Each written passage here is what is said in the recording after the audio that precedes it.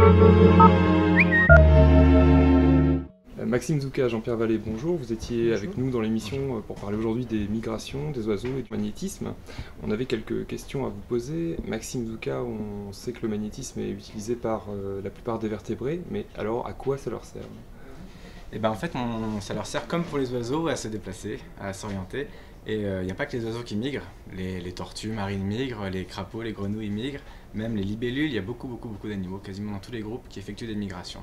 Donc euh, du coup, tous ou presque, en tout cas quasiment à chaque fois qu'on a fait des recherches, que des chercheurs ont essayé d'en savoir plus sur leur mécanisme d'orientation, le champ magnétique avait un rôle important. C'est toujours impliqué dans les déplacements en tout cas Ouais. D'accord. Et euh, Jean-Pierre Vallée, euh, est-ce que finalement on connaît bien le magnétisme et comment c'est utilisé par les organismes?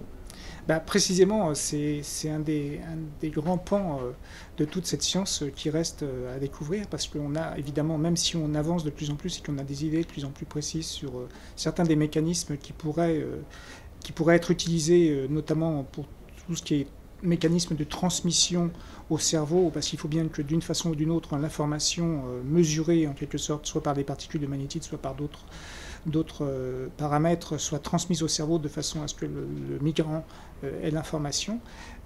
Tous ces mécanismes-là, on les connaît encore relativement mal. Il y a énormément de recherches qui sont faites là-dessus et, ça intègre évidemment plusieurs disciplines qui vont de la neurologie à la limite, euh, enfin jusqu'à quasiment la médecine en passant par la physique et, euh, et évidemment le magnétisme, qui est une discipline de la physique.